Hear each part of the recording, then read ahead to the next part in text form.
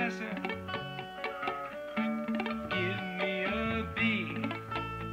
I really understood your course, and I don't want a D.